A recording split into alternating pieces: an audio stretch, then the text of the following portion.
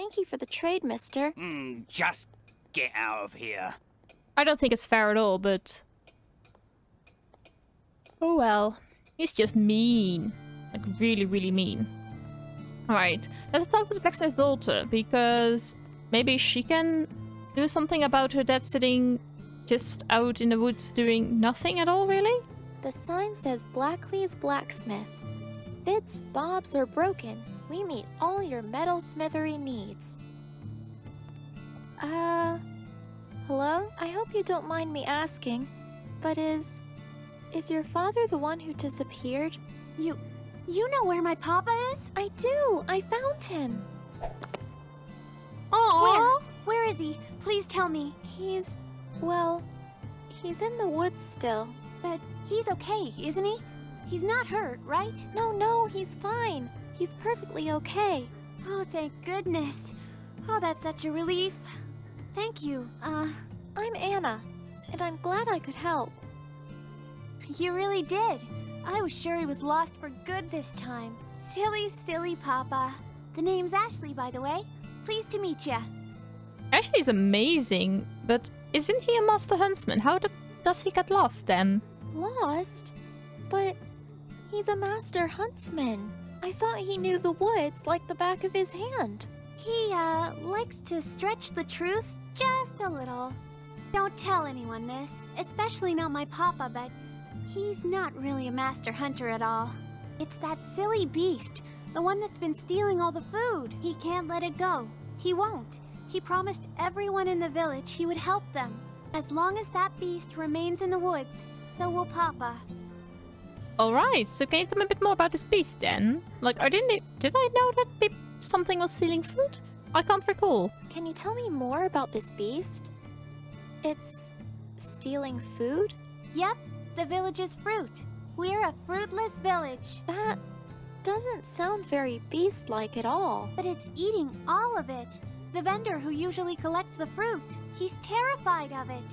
A ferocious wild creature, he says. Gnashing teeth and long, razor sharp claws. Oh my, that does sound rather beastly. Uh huh. And that's what my poor papa is out there trying to find. Are we sure he's not talking about a squirrel or something? So, how does your father normally find his way out of the woods then, if he isn't really that big of a master hunter than we all thought? How does your father normally find his way out of the woods then? Usually I just get Gil from the tavern to help me find him. Then I just growl and make noises so he chases me and I lead him back here. But Ashley, he. he's hunting the beast. Oh, uh, hmm, well, good thing he's a terrible huntsman. Anyway, he caught on to me. He figured it out, so now I guess it's the beast or nothing. Oh well, so... Oh, sh- can she make the lantern? That would be awesome. I was wondering, this lantern. Is there any way you can make it work again? Aw, you kidding me? Piece of cake. Ah, only without Papa here, I'm kinda crazy busy right now. No problem, so first get father back, then get lantern fixed. Um, I'll let you get back to work, As Ashley, and I'm going to get your father for you. I'll let you get back to work, Ashley. Be careful out there, okay? If that beast is out there. Alright, let's go. See whether we can do anything. Is there nothing we can do with this haystack? Like, If something was hard to find, Grandpa always said, it's "Oh, like Anna, a needle in a may as well try and find a needle in a haystack. Wouldn't it be funny if I actually... Oh, hold on. Well, there you go. Not so hard to find them after all, Grandpa. Not what I expected, but okay. So let's talk to the blacksmith again. See whether I can give some info about the beast. Excuse me, sir? Oh, hello there. So, can you tell a bit more about this beast? Can you tell me more about this beast? I don't know if I can, but maybe I can help somehow? Oh, that's very sweet of you, kid. But no, this is much too dangerous for you. But, but maybe if you just tell me. No means no, kid. You're just like her, you know. You're just like my own girl. You kids are a stubborn lot. So, good luck doing whatever you're doing. Well, best let you get back to, uh, whatever it is you're doing. Oh, Yes, focusing my um, traditional tracking technique. Or something. Hmm.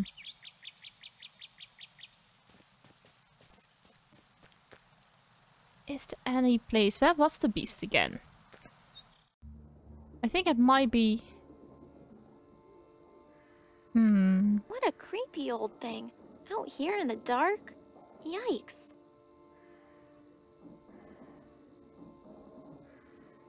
So we are aware that they don't Did I like tell you ghosts. guys the one about the witch boy who drowned in the lake? Hmm. Ah, it's only all you ever talk about. Oh, I don't like that one. it's scary. That's the point, you doofus. They're silly ghost stories to scare you. Yes, I think they're afraid of ghosts, but I don't think I can do anything with the bed sheet yet. Can I? There was that old Nope, witch school. Doesn't right near work. Here somewhere. Hmm. A good idea. But I would also need thread to fix the sheet. So what if we do needle and Yeah, stringy yes. vines? Fill This would make for great sewing thread. They're not hearing me, so that's great. All fixed. Those days of practicing my sewing really paid off. I'll just leave it as it is. You went in alive and happy boy, but then Hmm. you come out Maybe a this isn't white the right approach. Oh, maybe I have to get the lantern fixed and put it over the lantern or something Bright like that. Ghost for eyes. Roman is here. Is there because there is nothing here? Let's go to the lake. Is there like a bush here? No. Oh, there is a forest on the other side, of course, of the town where we first came in. Maybe the beast is over there. That might be. No, no. That was fun. Back to finding the cure, I guess. Not what I wanted to do, but thank you, Anna. There is a Ah. forest here.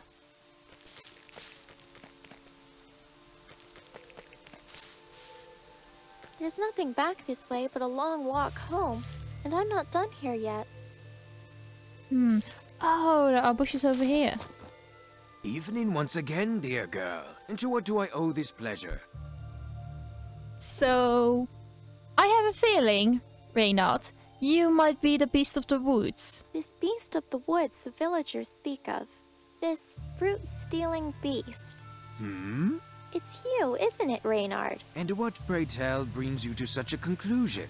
Well, uh, you like fruit, and you are kind of like a beast. I mean, the descriptions are completely wrong, really. Hey! You haven't got any razor claws or teeth, and you're quite cute and small and fluffy. All right. yes, yes, enough. It's true. I lack beastly qualities. But you are quite right. The beast is the title I have been given, and one I must abide by. No way. It was a very small really cute fox that actually make these villagers do it in their pens. I mean, unbelievable. So, can you please... The, can you please quit? Like, they're scared of you. And I need, like... I, I kind of need the back, blacksmith back in his shop to get my lantern fixed and probably allows me to chase some thieves away. so you like being a beast then? But they're scared of you, Reynard. Terrified. Precisely. Adapt to survive. And adapt I have.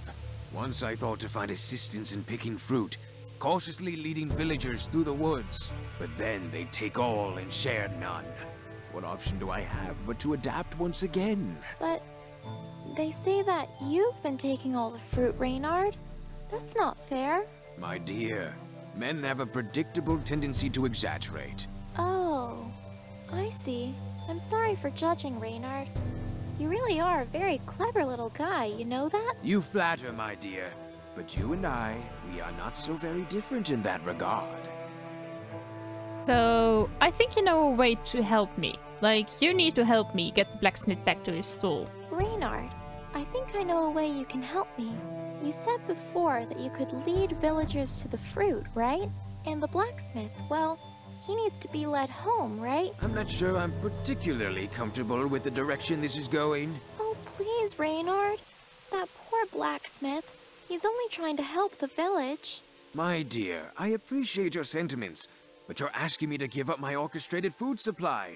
Well, you. You can come back to my farm. We have plenty of food to share there, but, well, you know, if you think there's someone else who's clever enough to escape one little huntsman, then. All right, all right, I concede you win. I care not for acquiescing on terms of pride, but I respect your tactics. Oh, thank you, Reynard. I really appreciate it. of course, my dear. And with that, I suppose I might as well be off. Well, let's go and see whether the blacksmith returned home. Yes, he did. Back to the anvil. Uh. Hello? Anna, I'm glad to see you. He's back, Anna. My papa has finally returned, safe and sound. How about that? That's great news, Ashley. We're already right back on track with work, if there's anything you need. So, this lantern... I was wondering, this lantern, is there any way you can make it work again? Aw, you kidding me? Piece of cake. One second.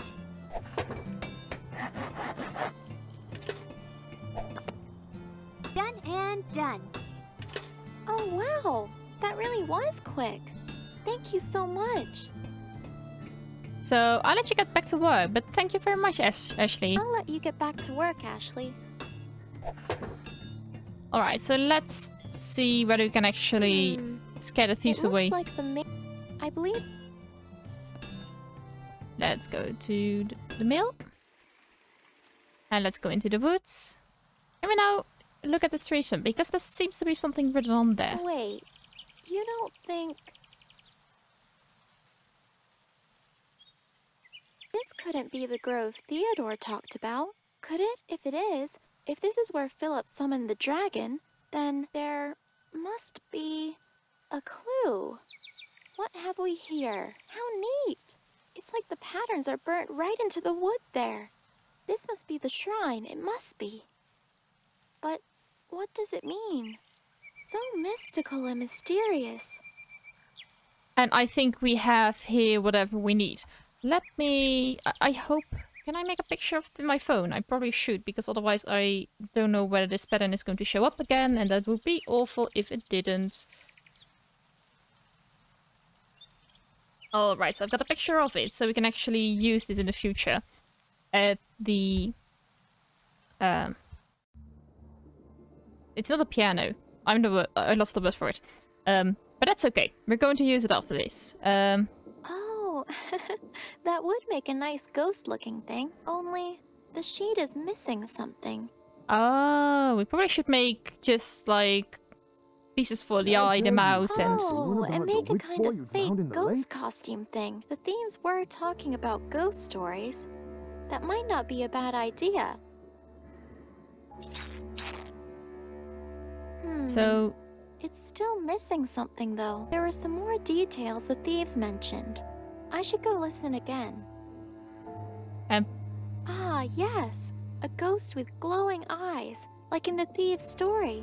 I didn't even notice that part, but That's pretty convincing, really. Would sure scare me if I saw it floating around the woods. so can I now use my Ah, telekinesis on it? This isn't really needed here. I don't think. Time to finally give these guys a taste of their own medicine. Ooh! Oh wow, Did Emma, really? Did you Ah, just do that? right. Ooh! Dad! Oh, I you did. You, you don't think. First you lot are shaking and stammering over a little kid, and now some wind? Useless. Really, the both of you. There's nothing here but... but... but... Ah! Uh, make sure it flies. What is it? Is it? That. I already thought I needed to be flying, so I'm surprised we didn't do that before.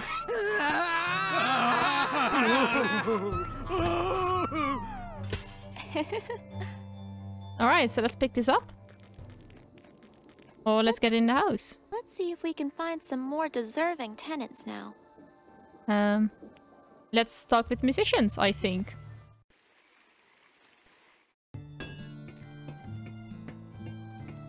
Um, hey. Um, excuse me. Greetings again, Kamina. What is it you interrupt the great Van Betoriki with now? So, I found a place for you all to stay. Roostwig, I did it! I found a place for all of you to stay. By Jove! You don't mean it! I do mean it. Come on, I'll show you. So, what do you guys think? Hmm. Quaint. Quiet. Tranquil, even. It is no Schloss Sanssouci, but perhaps I shall lower my expectations in this instance. Yes, perhaps. Very well. You have helped the great Roostvik van Betoriki to retire in peace. For that, you have my sincerest gratitude. Thank you, my dear. You are most welcome, Roostwig. I'm glad I could help.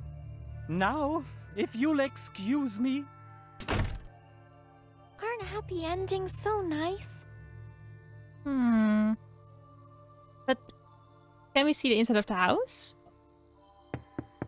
Oh, it's you. Again? Sorry to bother you, Roostwig. I was just wondering, do you think you could help me with one last performance? The Weissefrauen. Kamina, you must understand. Retired means retired. Finished. The end. I know, I understand. Really, I do. It's just, well, my grandpa is sick and. Please, please, spare me your tales of woe. I've heard it all. Mr. Roostwig, I did help you, remember? It would mean so much to me. Very well. Here. I have no more use of it. If you so desperately need to hear the violin, well, I suggest you get practicing. Oh, well, I could give it a shot, I guess. Now, if you'll excuse me. Well, I guess that's something, right? Hmm. And now we just have to find a way to switch around this seemingly useless violin, still a pretty one probably, with the one that's inside the stall. Hmm.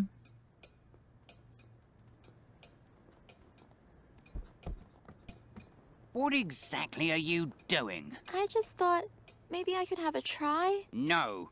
Just no. That is the most exquisite violin in all the land. And as a result, the single most valuable, expensive, and unaffordable item in this shop. So, that's a no to trying? Not even for a budding young musician like me? A very large and definite no. Especially to you. Hmm. Is there a way to cause a distraction? We can ring the bell, but that won't do anything. We can knock over some shelves if we can, because we're not that strong. The code won't do anything, I think. The... whatever this is, the crockery won't do. Can we make the toy monkey make a lot of noise? Like, be really, really annoying? I think for that we might need some telekinesis.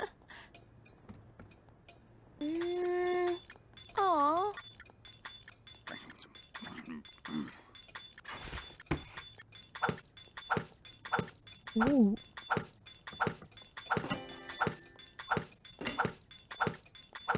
Good luck. Hold it.